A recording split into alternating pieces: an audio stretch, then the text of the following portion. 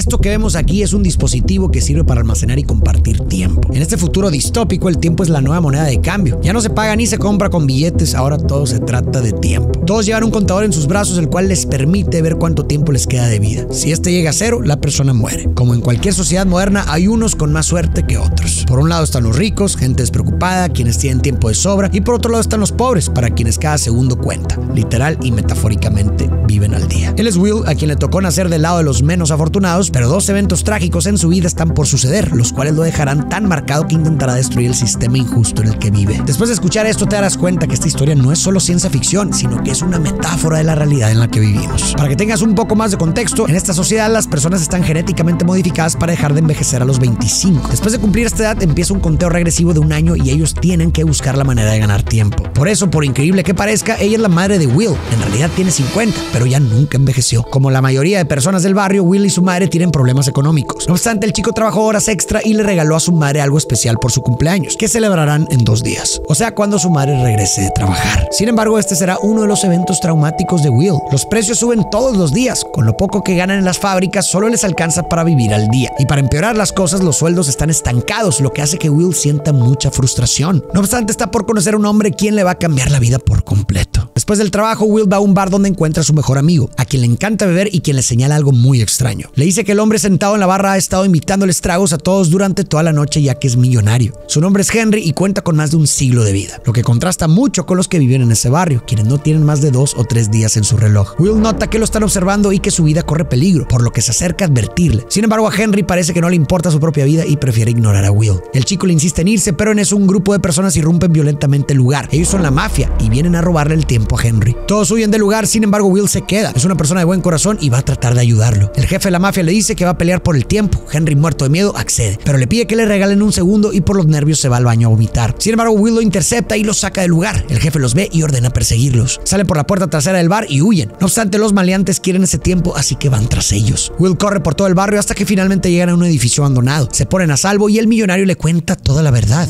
Este hombre ya ha vivido 105 años y es de un lugar llamado New Greenwich. Este es el lugar con más riqueza de entre todas las zonas. La gente que vive ahí tiene tiempo de sobra. Son tan ricos que prácticamente son inmortales. Henry le explica que ya no quiere vivir más, que su mente está cansada y que ya fue demasiado. Por eso no le importaba poner su vida en peligro en el bar. Will se molesta porque piensa que ese es un problema muy absurdo. Pero en realidad Henry tiene un punto. Lo que le da sentido a la vida es la muerte. Saber que tenemos un tiempo limitado en este mundo nos hace vivir con más propósito y urgencia ya que la brevedad es un factor de intensidad. Ser inmortales, como es el caso de Henry, le quitaría todo el sentido a vivir y justo fue lo que a él le pasó. Esta es la razón por la cual está a punto de tomar una terrible decisión. Le explica que en realidad hay tiempo para que todos puedan vivir una vida normal, pero este tiempo está mal distribuido. Solo está en las manos de unos pocos. Es un sistema injusto en el cual para que unos puedan vivir para siempre, muchos deben morir. Antes de dormir, Henry le pregunta a Will, ¿qué harías si tuvieras todo este tiempo? A lo que Will responde, dejaría de mirarlo y no desperdiciaría ni un segundo. Henry se da cuenta que él es el indicado, por lo que a la mañana siguiente, mientras Will todavía está dormido, le transfiere casi todo su tiempo y se va a sentar a un puente mientras espera que llegue su hora. Cuando Will despierta, se da cuenta que Henry le ha dado todo. Will observa por la ventana, ve a Henry lo lejos y entiende lo que está por hacer. Corre para tratar de alcanzarlo, pero el contador del hombre llega a cero y su tiempo en este mundo termina. Will llegó tarde. Sin embargo, todo este tiempo le va a traer a Will consecuencias terribles. Vemos que una cámara de vigilancia capturó este momento, lo que le va a traer consecuencias a Will. En esta sociedad también hay una especie de policías. Estos son los guardianes del tiempo. Son básicamente policías y su función es mantener el orden y el sistema funcionando. En la realidad se podría interpretar como que son el equivalente al Banco Central de cada país. Al ver lo sucedido por las cámaras de seguridad, Raymond, quien es el líder de los guardianes, va a investigar la escena del crimen y asume que alguien le robó todo el tiempo a Henry y terminó con su vida. No está seguro de que haya sido un robo, pero al ser un barrio tan pobre y violento, asume que es el motivo más lógico por lo que se pone a investigar quién fue el culpable. Por otro lado, Will, quien ahora es millonario, va con su mejor amigo a contarle todo lo que sucedió. Cuando llega a su casa, lo recibe la esposa, quien tiene un bebé de apenas un año. Su amigo se sorprende, pero le advierte que tiene que irse porque en ese violento lugar corre un gran peligro. El chico lo entiende y antes de irse le regala a su mejor amigo 10 años. Pero lo que Will no sabe es que está cometiendo un gran error, ya que en lugar de usarlo para mejorar su vida, va a usarlo para acabar con ella. Después de esto, Will va a esperar a su madre para contarle la gran noticia. La mujer, después de dos días, acaba de terminar de trabajar. No obstante, cuando está por tomar el camión que la lleva de vuelta a casa, el chofer le dice que la tarifa subió ese mismo día. La mujer solo tiene una hora y media y el camión cuesta dos. La madre de Will le ruega al chofer ya que son dos horas caminando hasta su casa, por lo que no podría llegar. A lo que el chofer le responde, tendrá que correr. Cierra las puertas y el camión se va. La mujer corre lo más rápido que puede, trata de parar otros camiones e incluso intenta pedir pedirles tiempo a otras personas, pero nadie la ayuda y el tiempo se le agota. Mientras tanto, Will espera feliz a su madre con un ramo de flores y ansioso de contarle la noticia. Pero cuando nota que este no baja del camión, entiende que algo muy malo está pasando, así que tira las flores y corre a buscarla. El tiempo se agota y ambos están en la misma avenida. Will tiene todo el tiempo del mundo para darle, pero a su madre solo le quedan unos segundos. Se ven a lo lejos, ambos aceleran el paso, la mujer corre por su vida y cuando están a punto de darse la mano, el tiempo se agota. Su madre cae muerta en sus brazos y ya no hay nada que se pueda hacer. Will, quien ahora tiene lo que siempre le faltó, ha perdido lo más importante. Después de este suceso, Will recuerda las palabras de Henry. Para que unos sean inmortales, otros tienen que morir. Así que decide vengarse del sistema, por lo que pide un taxi para viajar hasta New Greenwich para ver cómo puede cambiar las cosas. Es justo aquí donde nos damos cuenta de los métodos de control de esta cruel realidad. Esta sociedad está dividida por zonas horarias. Si quieres pasar de una zona a otra, tienes que pagar un peaje. Entre más avanzas, la calidad de vida y las oportunidades son mejores, pero el precio por avanzar va subiendo cada vez más. Tan solo para salir de la primera zona horaria, Will tiene que pagar un mes. Y recordemos que la mayoría de las personas de este barrio no tienen más de tres días en su cuenta, por lo que salir de ese lugar es prácticamente imposible para ellos. Un hecho muy parecido a la realidad en el que las cosas que tal vez puedan mejorar el futuro de las personas, como mejor alimentación, un lugar seguro para vivir, educación de calidad o lugares con mejores oportunidades, son incosteables para la gente que lo necesita para salir adelante, dejándolas atrapadas en su misma situación. Will sigue avanzando entre zonas horarias hasta que finalmente llega a la última zona a la que para pasar le cobran más de un año.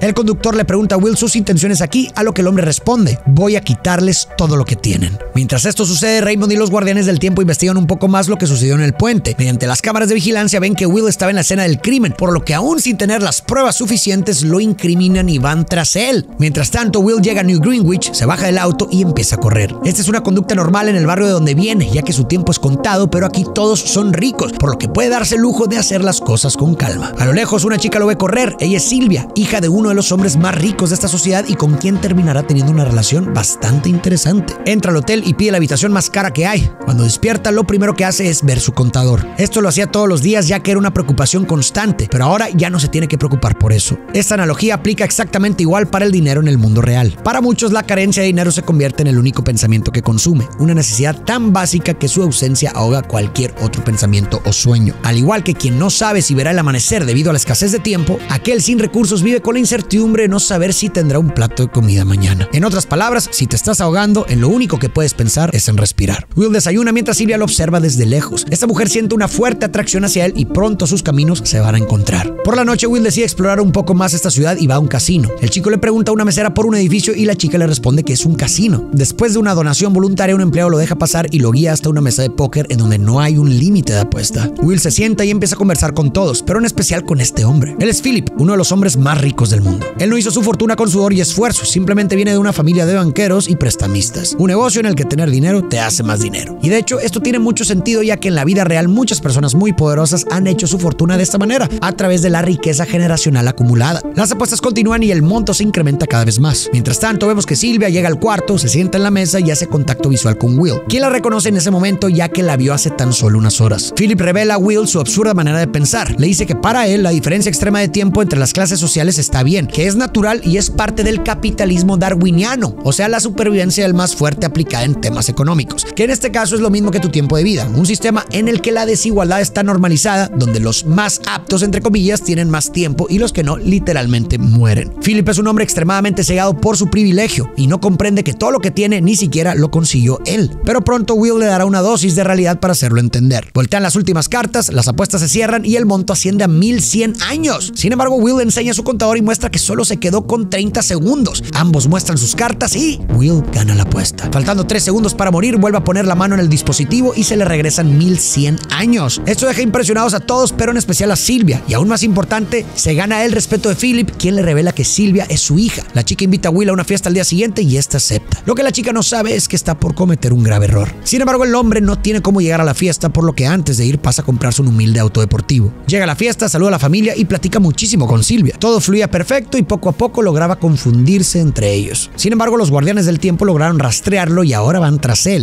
Mientras Will charlaba, los guardianes irrumpen en la reunión. Will sabe que vienen por él, sin embargo cree que no hizo nada malo, así que está relativamente tranquilo. Lo apartan de todos y lo llevan a un cuarto aparte para interrogarlo y cuestionarlo. Will explica todo, pero Raymond no le cree, por lo que le quita casi todo su tiempo y lo deja con tan solo dos horas para poder ficharlo y procesarlo. Raymond se va, pero Will tiene un objetivo en mente y nada lo va a detener. Así que se libera de los guardias, baja por las escaleras y toma de ren a Silvia. Se escabulle por el lugar, toma un par de armas, sube a su auto y escapa con la chica. Los guardianes lo persiguen, pero después de unas maniobras logra esconderse bajo un puente y así pierde a todos. Will se ve su reloj y nota que no tiene mucho tiempo, por lo que le pide a la chica un poco, pero esta lo manda a volar. Se dio cuenta que Will sí es de los barrios bajos y ahora la imagen que ella tenía de él cambió por completo. Manejan hasta que amanece, sin embargo Will se distrae y cae en una trampa de clavos, por lo que el coche vuelca y los dos quedan inconscientes. Esta trampa no fue puesta por los guardianes del tiempo, sino por la mafia, quienes están buscando a Will para vengarse. Ven su reloj y dan por hecho que cuando despierte va a estar muerto, así que lo dejan. Sin embargo, le roban todo su tiempo a Silvia, la dejan con solo 30 minutos y después de esto los mafiosos se marchan. No obstante, esta no será la última vez que se van a encontrar. Cuando despiertan, Silvia entra en pánico ya que nunca antes había tenido tan poco tiempo. Estaba acostumbrada a una vida muy holgada y sin preocupaciones. No obstante, ahora está en la misma situación en la que vive la gran mayoría de las personas de esta sociedad, lo que le abrirá los ojos. Este nivel de carencia y estrés es normal en la vida de Will, así que ante la necesidad, Silvia le da un poco de tiempo y corren para salvar sus vidas. Como primera opción, Will intenta recurrir a su mejor amigo, al hombre que hace unos días le regaló una década. Sin embargo, cuando llega a su casa, la esposa le abre la puerta llorando porque pasó algo terrible. Con el dinero que Will le regaló a su amigo, se fue a embriagar al bar y terminó muriendo ahogado en alcohol con nueve años restantes en su reloj. A Will lo invade una culpa gigante, pero solo les queda un par de minutos, así que tienen que actuar rápido. Silvia tiene aretes de diamantes, por lo que deciden ir a empeñarlos. El dueño del lugar ve que ambos tienen una necesidad extrema, por lo que les ofrecen una miseria por los diamantes y estos no tienen más remedio que aceptar. Will le da su parte a Silvia y la lleva hasta un teléfono público para que ésta le marque a su padre. Del otro lado de la línea contesta Philip. Will pide hablar con el guardián del tiempo y le dice que si quieren a Silvia de regreso tendrán que depositar mil años en la beneficencia del barrio para el amanecer. Esta es una cantidad insignificante para Philip, pero aún así lo piensa. Sabe que esto podría ser solo el inicio de la peor pesadilla de este hombre, la caída del sistema. Gracias a esta llamada, Raymond logra rastrear la ubicación de Will y va tras él. Por otro lado, Will lleva a Silvia a su hogar donde le da ropa y le cuenta un poco sobre su familia. Le dice que su madre murió prácticamente por ser pobre y que su padre falleció en una pelea ya que a eso se dedicaba. El hombre era muy bueno y siempre ganaba. Silvia le pregunta cómo hacía eso y Will le cuenta el secreto. En esta sociedad hay una especie de pulsos o vencidas. Estas consisten en voltear el antebrazo de tu rival para quitarle su tiempo. Will le dice que la clave está en darle la ventaja al otro y al último segundo cuando el contrincante se distraiga por mirar su tiempo, aprovechas y le das la vuelta a la pelea. A la mañana siguiente Will se levanta temprano a ver si Philip transfirió el tiempo, pero al parecer no le importó. Will se rinde y le dice a la chica que mejor se vaya. La lleva por la calle hasta un teléfono público para que llame a su padre y manden a recogerla. Le da un arma para que esté segura y justo antes de irse Silvia regresa y le planta un beso. Después de esto hace la llamada con su padre a quien le reclama y grita porque ni siquiera intentó rescatarla. Will espera desde lejos, no obstante, mientras esto sucede, Raymond llega por la espalda y la apunta a Will. Silvia se da cuenta, grita, dispara y Raymond cae al piso. Will lo desarma y cuando se acerca ve que este no tiene mucho tiempo. Sabe que sus compañeros tardarán mucho en llegar, por lo que para salvarle la vida, Will le regala un poco. Después de esto suben al auto y huyen. Para conseguir más tiempo y un auto que no sea de la policía, Will y Silvia roban un vehículo y toman prestado un poco de tiempo de la pasajera. Este auto tiene televisión. Desde esta ven como ahora los dos son fugitivos de la ley y tienen órdenes de búsqueda y captura. Después se van a un lugar más tranquilo en el que poco a poco se van conociendo más y se preparan para ejecutar su plan. Acto seguido, la pareja hace su primer movimiento para intentar desestabilizar el sistema. Roban un camión y asaltan un banco. No solo lo asaltan, sino que prácticamente lo destruyen y atracan la bóveda robando decenas de cápsulas de tiempo. Al terminar, les dicen a los espectadores que entren y tomen lo que quieran. Acto seguido, Will le deja una cápsula con décadas a la esposa de su difunto amigo. Le dona a niños en la calle y llena de tiempo la beneficencia para que todos puedan tomar un poco. Esto hace enojar muchísimo a Raymond ya que hay tiempo en circulación que no debería de estar en esas zonas. Tiempo que eventualmente traerá graves consecuencias. Pero los actos de Will y Silvia también hacen que la mafia enfurezca, ya que ahora los habitantes del barrio tienen más dinero y se pueden defender mejor, lo que está arruinando sus negocios, por lo que ambos bandos intentarán ponerle fin a esta pareja de Robin Hoods. Esto es algo que también sucede en la vida real, el poder siempre busca perpetuarse. En este caso, Will y Silvia están poniendo en jaque un sistema que ha beneficiado a ciertos grupos durante generaciones, como los ricos, los guardianes del tiempo o la mafia, y estos actuarán en consecuencia. No por defender un sistema moral o justo, sino por defender un sistema que les ha favorecido.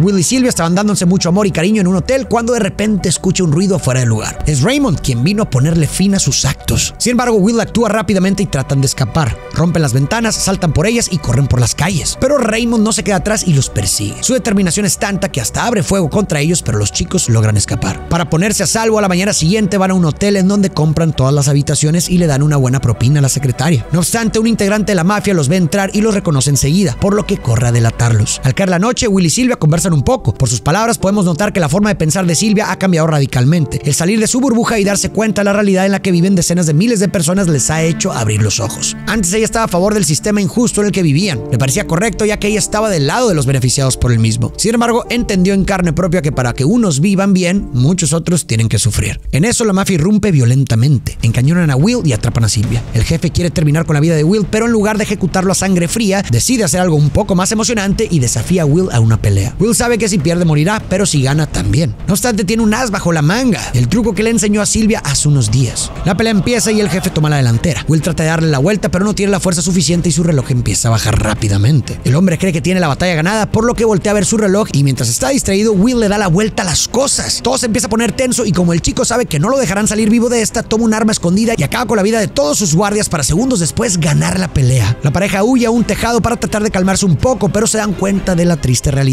El gobierno está subiendo los precios de todo. De esta forma, por mucho dinero que le regalen a los pobres, nunca será suficiente. En lugar de estar haciendo un bien, están empeorando las cosas. Saben que si quieren hacer un cambio nunca antes visto, necesitan hacer algo nunca antes hecho. Necesitan inyectar en la base de la pirámide un millón de años y por suerte conocen a alguien que tal vez los tenga, el padre de Silvia. Regresan a New Greenwich, al mismo lugar en donde está el padre de Silvia siendo escoltado por muchos hombres. La chica llega tranquilamente por detrás y todos se alarman. Declara que quiere rendirse y que quiere hablar con su padre. En eso, Will, quien se hizo pasar por uno de ellos, saca su arma y toma de rehén a Philip, quien les dice a sus guardias que bajen sus armas. Will y Silvia lo suben al elevador y caminan hasta llegar a la oficina principal, donde también está la caja fuerte. Prueban como contraseña la fecha de nacimiento de Charles Darwin, o sea, el padre de la teoría de la evolución a través de la selección natural. Y recordemos que este hombre es un fanático de la ley de la supervivencia del más fuerte. Esto aplicado en términos económicos no tiene mucho sentido ya que nadie empieza desde el mismo lugar, por lo que no es una competencia justa. Intentan esa contraseña y la bóveda se abre. En el interior hay una sola cápsula que contiene un millón de años, un millón de años en las manos de un solo hombre, mientras que en el barrio de donde Will viene hay gente que muere todos los días por falta de tiempo. Esto es un paralelismo con la realidad. En nuestro mundo, el 1% más rico del mundo posee alrededor del 43% de la riqueza global, dinero que ni en 10 vidas podría ser gastado. Esos estudios obviamente no me los estoy inventando, sino que fueron estudios sobre la riqueza mundial realizados por Credit Suisse, una empresa de servicios financieros. Philip intenta detenerlos y les dice que esa cantidad de tiempo en la zona incorrecta paralizaría el sistema. O sea, justo lo que Will quiere que suceda. Antes de irse, el hombre les da una última advertencia. Les dice, hagan lo que hagan, nada va a cambiar, porque todos quieren vivir para siempre. Todos creen que tienen la oportunidad de ser inmortales, aunque toda la evidencia indique lo contrario, todos creen que serán la excepción. Ahora lo volveré a decir, pero cambiando las palabras al lenguaje de nuestra realidad. Hagan lo que hagan, nada va a cambiar, porque todos quieren ser ricos, todos creen que tienen la oportunidad de subir la escalera de clases, aunque la evidencia indique lo contrario, todos creen que serán la excepción. Esta evidencia se llama índice de movilidad social y en países de América Latina es sumamente bajo. Se estima que en países como México o Colombia salir de la pobreza en promedio puede tomar desde 6 hasta 11 generaciones.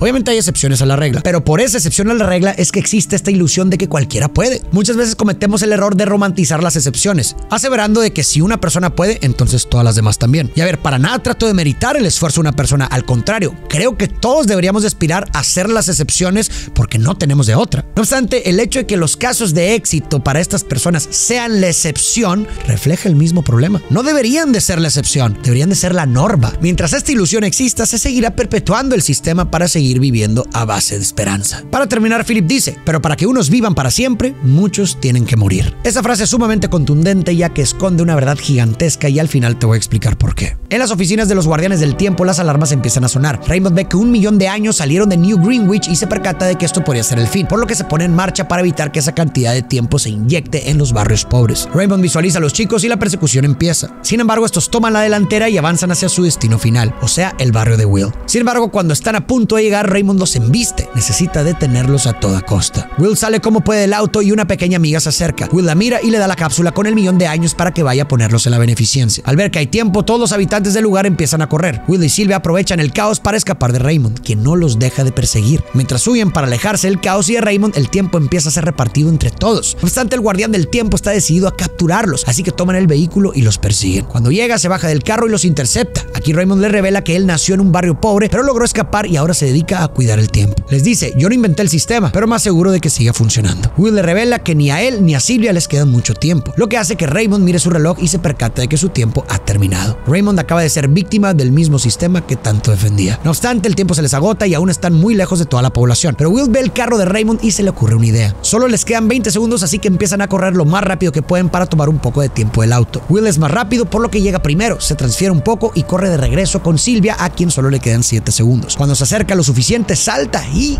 logra salvarle la vida. En New Greenwich todo el sistema empieza a colapsar. Los ciudadanos de los barrios pobres ya tienen más tiempo, ya no necesitan trabajar para poder sobrevivir, por lo que pueden moverse a lugares con mejores oportunidades. Pero ¿a qué se refería Phil cuando dijo para que pocos puedan vivir para siempre, muchos tienen que morir? Para entenderlo hay que cambiar un poco la frase. En lugar de que sea para que pocos puedan vivir para siempre, muchos deben de morir, mejor adaptarla a nuestra realidad. O sea, para que pocos puedan ser ricos, muchos deben de ser pobres. La película trasciende la mera ficción para convertirse en un recordatorio sombrío pero cierto. Cada segundo que pasa es un fragmento de vida que se nos escapa y que paradójicamente sacrificamos en pro del dinero. La moneda de cambio en esta obra no es solo una cifra en un banco, sino los latidos de un corazón. La cruel ironía es que al perseguir la riqueza material a menudo gastamos nuestro tiempo en tareas y preocupaciones que poco tienen que ver con lo que verdaderamente importa. El verdadero dilema entonces no es cuánto dinero acumulamos, sino cuánto de nuestro precioso tiempo estamos dispuestos a ceder a cambio. Si quieres que relate y reflexione sobre tu historia favorita o responda a dudas o comentarios, puedes volverte miembro del canal dando aquí abajo donde dice unirse. Esto te dará acceso a muchos beneficios exclusivos, además de que estarás apoyando inmensamente el canal. Si quieres ver más relatos, reflexiones e interpretaciones de historias, puedes darte una vuelta por el canal. Si buscas un poco, tal vez encuentres tu historia favorita. Y por si no lo sabías, tengo tres libros publicados que puedes pedir desde cualquier parte del mundo. Aquí abajo te dejo la liga. Muchas gracias por tu apoyo. Nos vemos en el próximo video.